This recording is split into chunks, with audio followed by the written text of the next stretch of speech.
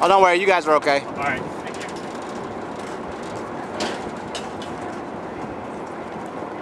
You. Go ahead. She's not doing nothing. They're they're not underneath. I mean, I can't see them anyway.